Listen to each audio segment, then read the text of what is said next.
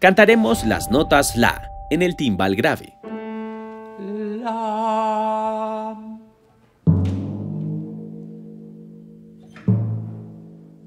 y Re en el timbal agudo. Re.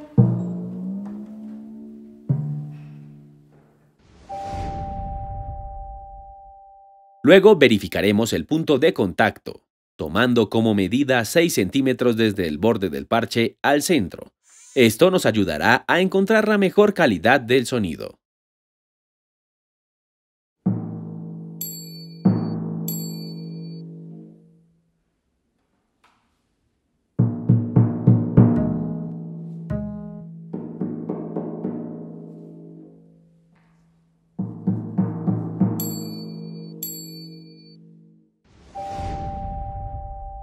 Haremos los siguientes ejercicios, trabajando diferentes digitaciones y combinaciones.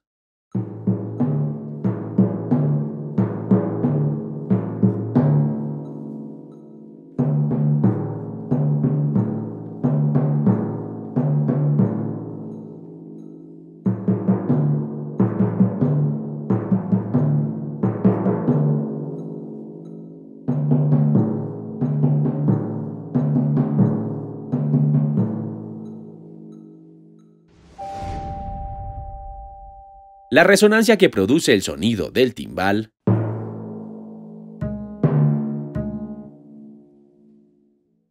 Para esto, será necesario aplicar la técnica del apagado. Nos permite controlar la duración de las figuras con sus respectivos silencios. Ahora lo aplicaremos en los siguientes ejercicios.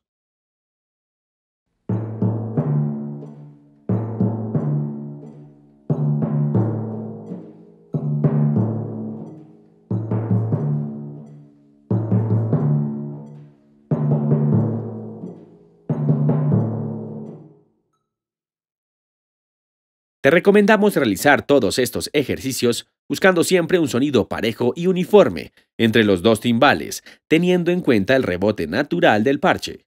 Esto aportará fluidez y naturalidad a tu interpretación.